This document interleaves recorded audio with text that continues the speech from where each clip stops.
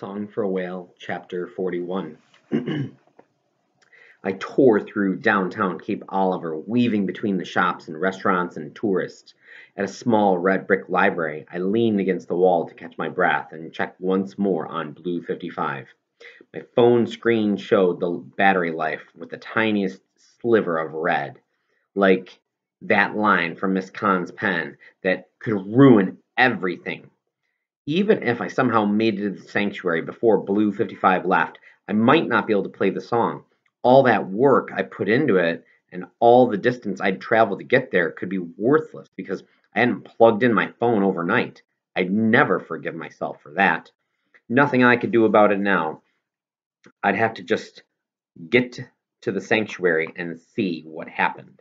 Until then, I'd save whatever life the phone had left I shoved it into my sweatshirt pocket and, and turned in a circle, trying to figure out which way to go.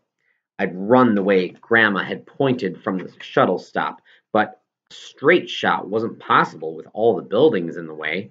The main street was on a diagonal, so I wasn't sure if I was headed the right way or running parallel to where I'd been. I ran again in a direction that felt right, while picturing the map that Benny had shown us. The sanctuary was farthest down the coast. I knew that much. Finally, I found the beach, but couldn't see the train tracks from here to help me figure out where I was. What if I ran in the wrong direction? By the time I figured it out, I'd be even farther away from Blue 55. I touched the compass on my necklace, tracing the outline of the whale, wishing 55 could somehow show, show me how to reach him. Then I smacked myself on the forehead. What I needed was hanging right there around my neck. I laughed at myself as I unclasped the necklace and opened the compass. Mr. Gunner was right. It still worked. I'd navigate like people did for centuries. The compass needle pointed north. I turned so that so that north was at my back and ran. When I got close to the sanctuary, I didn't need a map or compass to tell me I'd found the right place. I put the compass in my sweatshirt pocket next to my phone as I ran toward the red roof of a lighthouse. If I got there before the boat left, maybe I could convince them to change their minds about the song. I'd play it for them and show them how easy it'd be to just toss the speaker into the water. It could wait until after they tagged him so it wouldn't interfere with his song as they listened for him. It was okay that I couldn't get on the boat. I'd wait inside the building and watch the tagging on the video screens, or I could stand outside and maybe get a glimpse of him as he swam in the bay. The important thing was that Blue 55 would hear his song. An orange boat that looked like the one in the video from last year when Andy tried to tag 55 was in the water. Ahead of me was a jetty with large rocks on either side, like the ones I'd seen in Galveston. That would get me farther into the bay. After a few steps along the jetty, I slowed my pace. Waves crashed over the rocks and splashed onto the surface, slippery with seawater and algae. Twice I fell on the way to the end. The orange boat was ahead of me on the left, heading toward the sanctuary building. Was Blue 55 somewhere nearby, or were they going to were they going back because the expedition had failed again? Or maybe they'd already tagged him. When they got close enough, I'd flag them down. I peeled off my sweatshirt and dropped it onto the jetty with my backpack. After the run, I needed to cool off. I started to wave as the boat got closer to me. Then I lowered my hand. Andy and the man behind the wheel were both smiling. Andy held the tagging pole, which no longer had a tracker at the end. The man took one hand off the wheel to give Andy a high five. They were celebrating. They'd tagged the whale. Blue 55, the reason I was standing there. I'd left home to fly and cruise and ride a train and run to him, and he was gone. I tried to be happy for Andy and her team. They had set out to tag Blue 55, and they had done it. But I couldn't feel happy, not yet. For the first time since I started the trip, I cried. It wasn't the kind of cry that was for one thing, but the kind that brings up everything sad or unfair that ever happened. It was possible to miss someone you'd never met. I'd come all this way because I felt alone and thought Blue 55 did too. Alone, even in a crowd, and now he was swimming away from me. There I was, completely alone, standing in cold, wet clothes on a jetty. I thought back to what the captain had said during the fjord tour. Sometimes you have to know when it's time to give up and turn back.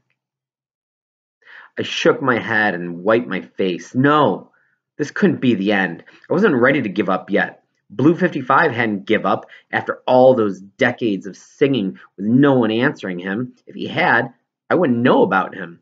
I wouldn't have been on that cruise ship.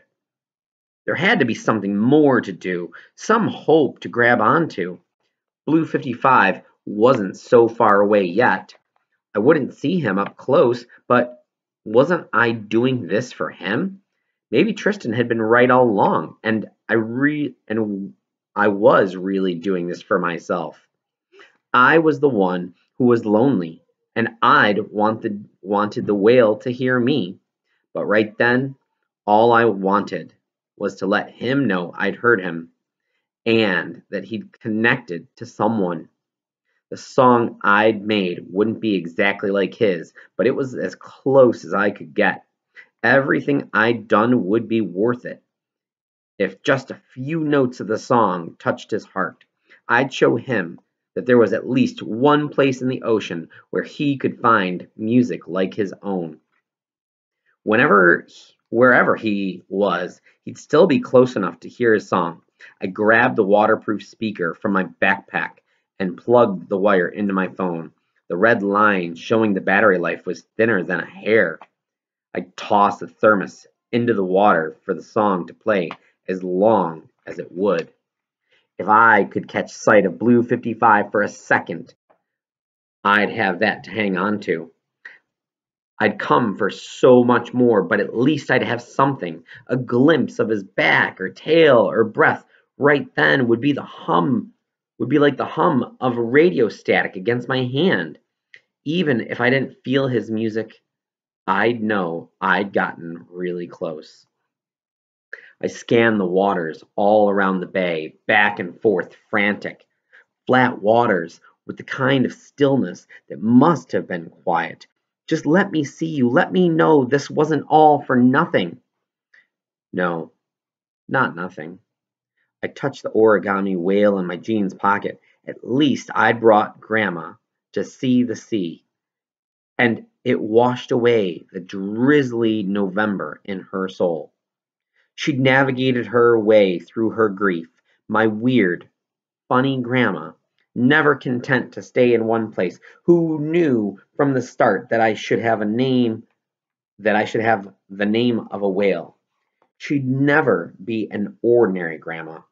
She was the kind who would take your hand and join you on an adventure, who had to break free like those bubbles trapped under the glacial ice.